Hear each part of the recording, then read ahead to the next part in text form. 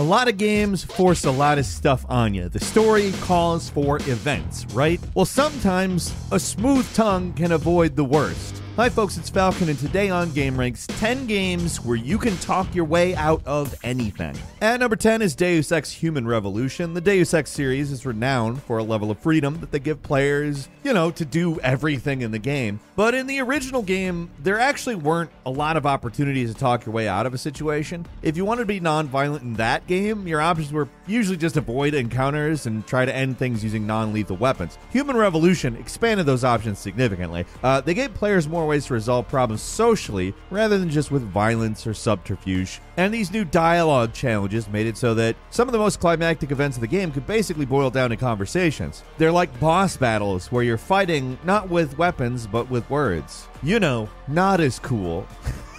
no, I'm joking. These are actually really fun. Your refusal to help me is getting in the way of justice. Wait, wait! I never meant to imply that I wasn't interested in seeing justice done. I mean, there's obviously also still regular boss battles, and there's a lot of combat in the game that's mostly unavoidable, so it's not a perfect example, but there's large chunks of the game where you can literally just use the right dialogue choices, and it'll reward you for taking the non lethal option over a violent one as well.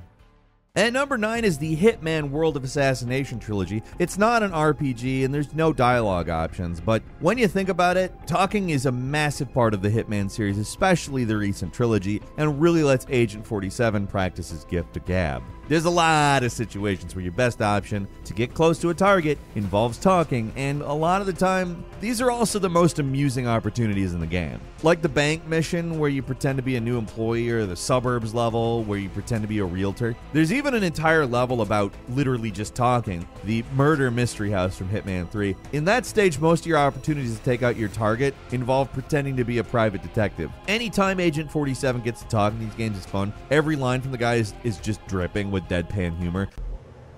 Follow you to the bathroom. Drown you. Terrible accident. Gruesome. Talking your way to a target is hardly the only way to finish a mission in a Hitman game, but a lot of the time it's easily the funniest. And number eight is Fallout 1, 2, and New Vegas. Uh, let's just lump all the Black Isle, Obsidian Fallout games together for this one because they're all about that. The first two Fallout games are especially good for letting you talk your way out of a situation, but New Vegas is no slouch either. They're not games where you can avoid every single instance of combat, but there's a lot of situations where combat can be avoided just by picking words correctly. Comparing all three, New Vegas is probably the worst about it, but it's still better than the Bethesda developed Fallout games. There's a lot of unavoidable combat in New Vegas, but if you invest your social skills, it's gonna pay off. The original Fallout games are some of the best when it comes to talking your way out of a problem, though. I mean, in the first game alone, you can talk your way into the bad guy's main base, talk your way past multiple levels of guards, and even talk the bad guy himself out of his evil scheme. Like, you can basically get through the entire final dungeon without getting into any combat. It's tricky, but it's possible. Those original games do look pretty crude by today's standards, but if you're willing to get past that, the amount of options you're given for actual role playing are still some of the best in the business. And number seven is Disco Elysium. This one's a bit of a cheat because the vast majority of the options you get for talking rather than combat. So, like, yeah, but still, this weird as hell detective RPG puts you into the head of a cop waking up after a huge bender. Uh, there's voices in his head telling him what to do, and even basic actions like getting a tie off of a ceiling fan can be just disastrous. It's a game where you're not taking damage from getting shot or beaten up, at least most of the time. You're more likely to get hurt trying to climb a tree or failing a conversation check, and then you're killed in a violent conflict. It's a game where you can potentially talk your way out of a tough situation, but you're likely to make things things worse with your talking. Sometimes your big mouth's more likely to get you killed than to help you. Believe me, I know all about that. Huh. I mean, I'm obviously not dead, but uh, I've. Mm, we don't need to talk about that right now. Uh, Disco Elysium, though, it's a pretty unusual and interesting game that I think deserves all the attention it gets. And while it's not exactly in the spirit of the list because it doesn't have a lot of combat mechanics, it's still an RPG. You can still get killed, and you can still talk your way out of it. In fact, it's usually the correct option. And number six is Undertale. This indie favorite is, uh, you know, well known at this point, but it's worth mentioning for a list like this because it's one of the few JRPG inspired games that lets you get through without, you know, throwing a single punch, much less uh, other things. Known for its tagline of the friendly RPG where nobody has to die, this game gives you the option of sparing enemies in combat rather than killing them. That's the feature that makes this game really stand out. It's possible to go through the entire game without killing anyone, not even the bosses. You do have the option to fight them normally, but if you'd rather show mercy, that's available. If you're a genocidal freak, there is an actual, you know, genocide run option. Kill everything, why not? But uh, to spare enemies, you have to do something to make them like you, which is sometimes simple, but sometimes involves solving a small puzzle using the act command. It sounds basic, but the game does a lot to mix these things up, and every single enemy has their own unique methods to tame them, I guess. In most games, you talk to avoid combat. Well, in Undertale, you talk to end a fight that's already started, which is kind of weird, but like it also makes perfect sense in the context of the game. And it's great. Honestly, it's really an interesting way of handling combat, and there's nothing else quite like it.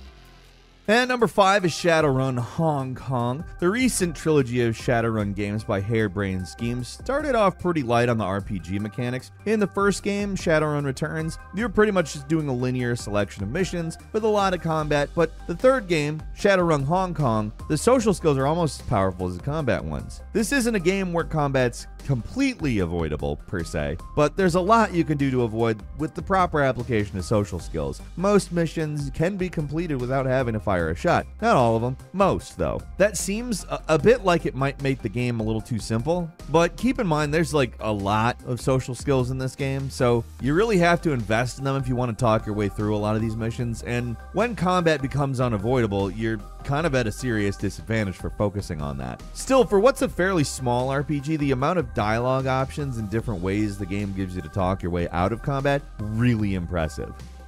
And number four is Planescape Torment. This absolute classic from 1999 is one of the most unusual and thought provoking RPGs of all time. There's a good reason it is highly regarded for its writing. Now, the combat isn't quite as well liked, but that's okay, because if you play your cards right, you really don't have to do combat at all. Almost every single plot critical combat encounter can be avoided, either through stealth or by saying the right things. As far as I can tell, there's really only like two or four characters total you absolutely have to fight, and even then, you don't have to kill them if you don't want to. This game was a major inspiration for Disco Elysium because most of the story is told through dialogue rather than fighting, and that's probably why Elysium cut combat entirely. Because seriously, it's the talking parts that people like about this game. The fighting stuff just isn't really that interesting, or at least as interesting, I guess. There's probably somebody out there that loves it, but they aren't the majority, let's just say.